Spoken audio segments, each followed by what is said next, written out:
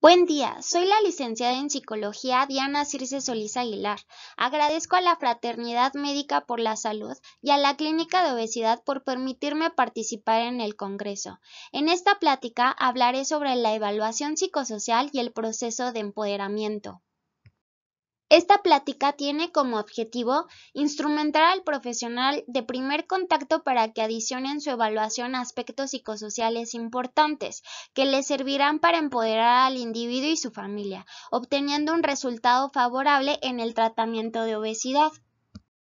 La obesidad en la infancia y la adolescencia se ubica en un contexto de orden psicosocial que puede vulnerar al niño y al adolescente para hacerlos más susceptibles de su enfermedad y sus complicaciones, pero también es importante reconocer que existen muchos elementos que suelen no ser considerados en la práctica día a día de primer contacto y para lo cual es el objetivo de esta plática. En primer lugar, tendríamos que decir que todo niño con sobrepeso y obesidad debe ser evaluado integralmente. Sabemos que no todos los profesionales cuentan con un equipo multidisciplinario como el que contamos en la Clínica de Obesidad y Enfermedades no transmisibles, pero podríamos decirles que de manera muy puntual el profesional del primer contacto se puede armar de las siguientes estrategias para hacer una evaluación integral. ¿Qué es la evaluación psicosocial? Permite al profesional de la salud conocer al paciente y sus contextos, identificar sus capacidades, habilidades y estrategias reales o potenciales para hacer frente al conflicto, orientar e informar acerca de la evaluación, de los obstáculos y de los posibles recursos, integrar un diagnóstico y determinar el plan de intervención. Una estrategia es la entrevista de carácter motivacional, considerando que el cambio surge siempre desde la persona y no se le puede forzar, pero sí potenciar. La estrategia de la entrevista motivacional son cinco. Expresar empatía, contener discrepancia, evitar discusiones, sortear la resistencia, apoyar y fomentar la autoeficacia y la técnica mediante la cual se desarrolla son preguntas abiertas, escucha reflexiva, afirmaciones, síntesis y resumen de contenido y promover expresiones autoafirmativas. Otras herramientas son el uso de mnemotecnias, en donde SCOF nos permite identificar si el paciente sufre de algún trastorno de la conducta alimentaria, CRAFT si en los últimos meses el paciente ha consumido drogas, HEDS nos permite contextualizarnos en el paciente, en donde la H es de hogar, E de educación, empleo, a de actividades, D de drogas, dieta, depresión, S de seguridad, sexualidad y suicidio, permitiéndonos identificar factores de protección y de riesgo en los diversos contextos, como en el plano individual sobre su estilo de vida, ocupación, emociones, pensamientos y actitudes, en el plano escolar sobre su aprovechamiento, bullying, ciberbullying, relaciones intrapersonales y en el plano familiar sobre su estilo de crianza, dinámica familiar, ocupación de los padres y estilo de vida de los padres. Por tanto, se observa que en la teoría y en la práctica la obesidad está en relación a diversas alteraciones psicológicas.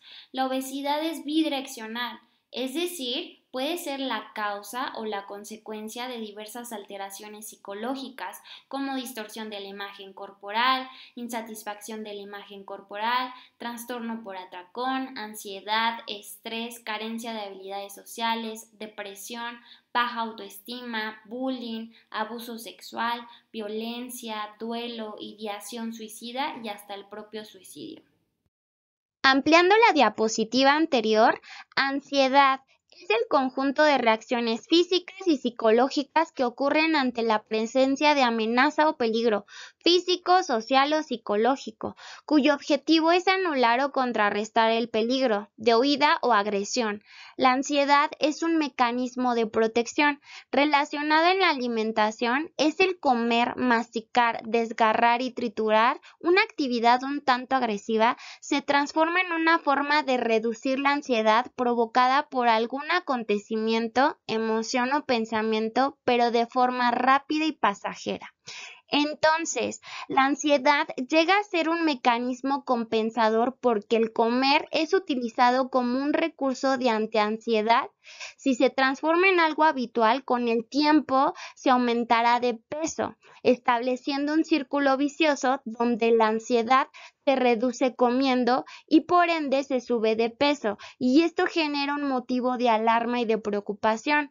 Otro ejemplo es bullying esto surge debido a la estigmatización de la sociedad ante las personas con obesidad, debido a que son vistos como perezosos, descuidados, incompetentes, carentes de fuerza de voluntad, provocando en los pacientes pérdida de sueño, depresión, menor motivación escolar, problemas psicosomáticos y el suicidio. Las emociones también son causa de la obesidad. Según Aparicio y más autores mencionan que la regulación emocional que realiza cada individuo se establece a partir de dos vías, una negativa como la mala adaptativa y la otra positiva como la adaptativa que se establecen a partir de un evento estresante determinado por circunstancias dadas de la vida. Mala adaptativa componiendo tres aspectos. La primera es a nivel fisiológico, en donde el eje hipotalámico, pituitario y adrenal aumentan el cortisol y esto genera el consumo de alimentos con alto contenido calórico para aliviar determinada emoción. La segunda es el comer emocional, lo que provoca la ingesta de comida. Y por último es el hecho de hacer poca o nula actividad física, tener conductas sedentarias y problemas de sueño, trayendo como consecuencia una ganancia de peso. La regulación emocional adaptativa esta consiste en, realizar una conciencia y reflexión emocional, aceptación y tolerancia emocional, autosoporte y autocompasión. Todas estas ayudarán a disminuir conductas no saludables y por ende no conducir esta patología. Se sabe que el que las personas tengan factores de soporte como la familia, la educación emocional, estilo de vida saludable y presencia de factores positivos individuales como resiliencia, capacidad de sobreponerse ante las adversidades de la vida, empatía, autoeficacia, buena autoestima y asertividad, capacidad de expresar emociones, sentimientos y pensamientos sin sobreponerse a los demás, harán que sus emociones no giren en torno a las conductas que no sean saludables. Y de esta manera poseer un estilo de vida saludable. Etapas de modelo de cambio conductual. Este es un modelo propuesto por Prochaska y de Clemente. Este modelo es de enfoque cognitivo-conductual, en el cual permite saber en dónde se encuentra el individuo y de esta manera ver la forma en cómo se le proporcionará la intervención para la obtención de un estilo de vida saludable. Cabe mencionar que este es un proceso de intercambio en donde se puede ver el progreso pero también la recaída. Es bidireccional. Este modelo consiste en cinco etapas, las cuales se mencionarán a continuación. Precontemplación. El individuo no es consciente de que su situación es una problemática, por ende no va a realizar ningún cambio. Contemplación. El individuo identifica y hace consciente que su situación es una problemática o influye en esta enfermedad, pero no tiene la capacidad o la intención de hacer cambios. Preparación con o sin ayuda del profesional. El individuo comienza a hacer un plan para el cambio. Acción. Aquí se refiere al momento en el que el individuo da curso al proceso de cambio, es decir, sus conductas asumen la responsabilidad de modificar las circunstancias que la originan y mantienen su padecimiento. Y mantenimiento. Esta etapa está sostenida de cambios positivos, considerándose en el momento en el que el individuo cumple los seis o más meses con esta nueva conducta.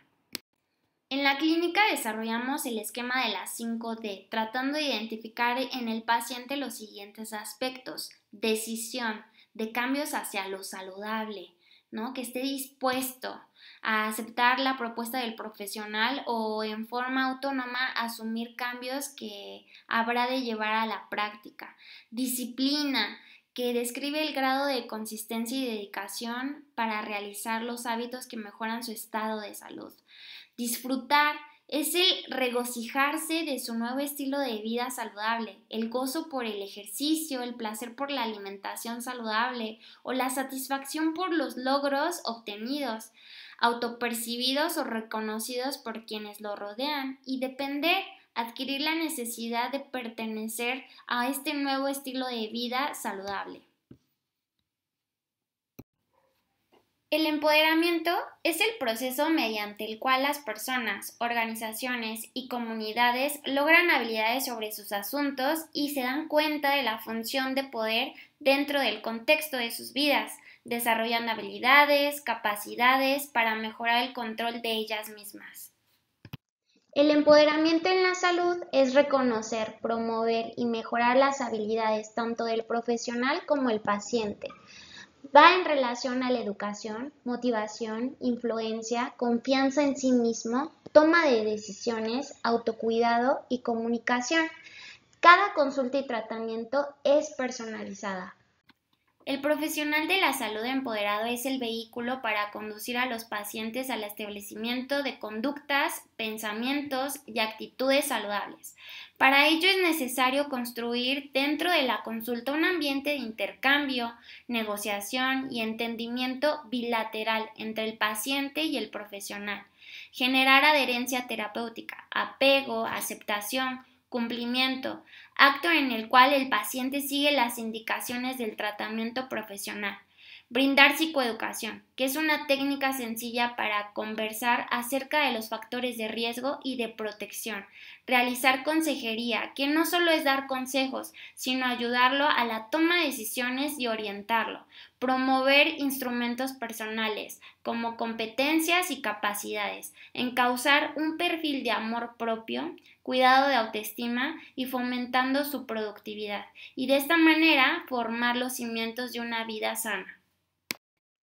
Mantener una comunicación asertiva con el paciente lo empodera. El no etiquetar al paciente con términos que estigmaticen permite no limitarlo y encasillarlo en un concepto que le resulte difícil salir de él. Por ello, el usar un término como el paciente con nos da la oportunidad de solo describir un aspecto de él, verlo como un todo y no delimitarlo con dicho término. La propuesta es manejar un lenguaje asertivo, utilizando términos como el paciente tiene obesidad. Y promover competencias, generando estilos de vida saludable, donde previenen y brindan fortalezas en las personas. Como profesionales de la salud es importante promover estas competencias para prevenir y proteger en cualquier etapa de la vida.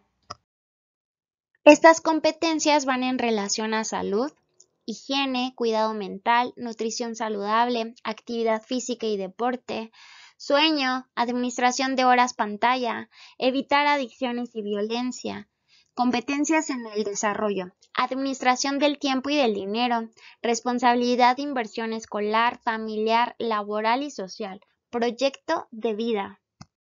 En socialización y convivencia, respeto, responsabilidad, solidaridad, honestidad, cooperación. Y en socioemocional, autoconciencia y autorregulación emocional, empatía, trabajo en equipo, toma de decisiones, escucha activa, asertividad, resiliencia, manejo de conflictos, comportamiento prosocial y consideración de las consecuencias tanto positivas como negativas. En conclusión, la obesidad es un padecimiento de orden multifactorial. El profesional de primer contacto habrá de considerar todos los elementos anteriormente mencionados que permiten tratar de resolver las causas de esta enfermedad. El profesional tendrá que canalizar al paciente a un centro de alta especialidad si así lo considera. La obesidad desde el punto de vista psicosocial es una entidad bidireccional es decir, puede ser la causa, pero también la consecuencia. En la evaluación, el profesional de primer contacto debe entender que la ampliación en la evaluación del paciente ofrece un mejor y más amplio panorama del caso y por ende esto facilita el diagnóstico y que la intervención sea personalizada. Y finalmente, en el abordaje psicosocial, debo decirles que permite dar a los pacientes instrumentos y herramientas para hacer frente a las problemáticas de la vida, en particular aquellas que faciliten el sobrepeso y la obesidad.